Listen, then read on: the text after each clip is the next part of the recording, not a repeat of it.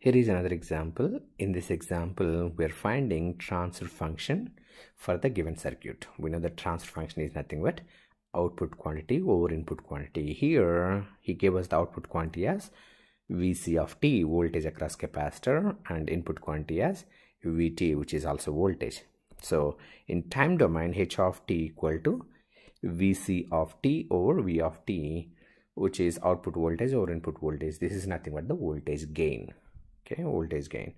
Now the first step we always do is we convert the given circuit into s domain because it's easy to solve a circuit in s domain so solve converting s domain is nothing but l inductor is nothing but ls so 2 times s and capacitance is going to be 1 over cs so 1 over uh, 1 times s which is 1 over s. Okay. Now i'm going to solve this by using the loop equation. So loop 1 apply kvl so if i take the loop 1 this given voltage i'm taking that as v of s output voltage as vc okay. Now loop 1 i1 current is passing through loop 1 i2 current is passing through loop 2 now um, start at one point come back to the same point without touching any element more than once that's called loop right? So i'm going to go through this. So 2 times i1 2 times i1 and plus 2s times i1 minus i2 is the current passing through that that inductor the vertical inductor is nothing but i1 is coming down i2 is going up. You can say i1 minus i2 is coming down or i2 minus i1 is going up. Since we're in loop 1 i always assume i1 current is larger than i2 so i whenever i'm in loop 1 i always write down i1 minus i2 okay? So this is my loop 1 equation. Now same way loop 2 equation.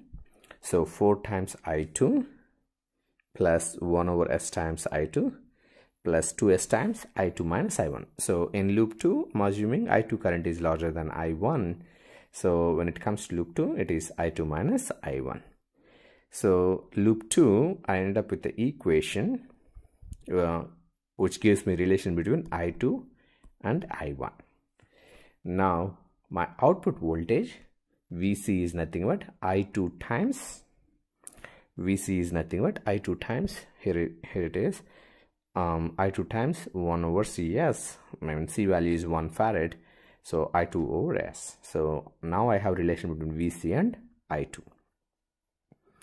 now i'm substituting equation 2 which is loop 2 equation in equation 1 which is loop 1 equation so that's what i did here so after solving that i end up with the relation between i2 and vs source voltage and the current in loop 2 but i already know relation between I2 and the voltage drop across capacitor. Now I substituted I2 value in there. I ended up with the um, relation between VC and VS. Here is the relation. Okay, I'm not spending too much time solving this. Please go through the solution. Okay, now VC over VS equal to S over 6S square plus 5S plus 6. This is the transfer function of the given circuit. So for any circuit, you, you don't need to have a unique transfer function. Say for example, if I want voltage across across this R2 as my output voltage, now the transfer function is going to change. Okay, I will stop this example here. Um, continue on another example in next video. Thank you.